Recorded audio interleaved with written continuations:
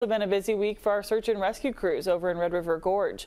Wolfe County rescue officials alone posted about two separate incidents just in the last few days.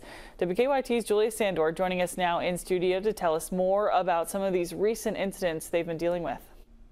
That's right, Kelsey. This year alone, Wolfe County Search and Rescue officials tell me they've had about 35 rescue missions. Two of those, like you said, were just this week. But people are still hitting the trails and exploring the gorge, and officials say it's important to take the right precautions. We've been averaging uh, somewhere in the 80s um, number of missions that we run each year. That's certainly ticked up over the past four or five years. Wolfe County Search and Rescue Chief John May is an experienced hiker, going through these trails numerous times, seeing the steep hills and tricky terrain. He says before setting out on your hike, let someone know where you are and where you're headed. I do that, and I'm an very experienced hiker. I'll always call my wife and say, hey, you know, I'm on Rock Bridge Trail. Uh, I should be out by three. If you haven't heard from me by four, it's time to call someone. On Friday, a 46 year old Lexington woman was injured on a rugged trail.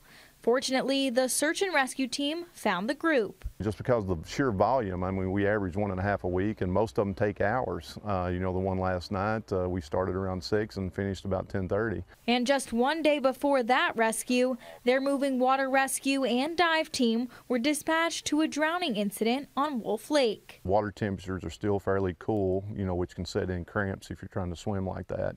Uh, you know, we encourage people as boating season and swimming season starts to ramp up. You know, if you're on a lake, uh, especially if you're not a very good swimmer, have some type of flotation device with you and never try to cross a large body of water without something. Wolfe County is full of beautiful scenery, but preparing to see it ahead of time could save people from dangerous situations. It's a great spot to visit. Just do it safely. And Kelsey, Chief May tells me that some of those trails are really difficult, so it's important to know your own skill level. Obviously, the weather plays a factor in that as well, and you know they're all volunteers, so we do appreciate exactly, their yeah. work and sacrifice. I know they work with other groups and agencies as well to get all that done, so we appreciate yeah, that. Yeah, definitely. They were out there today, and they'll be out there, you know, for the rest of the weekend as well. Thank you so much, Julia.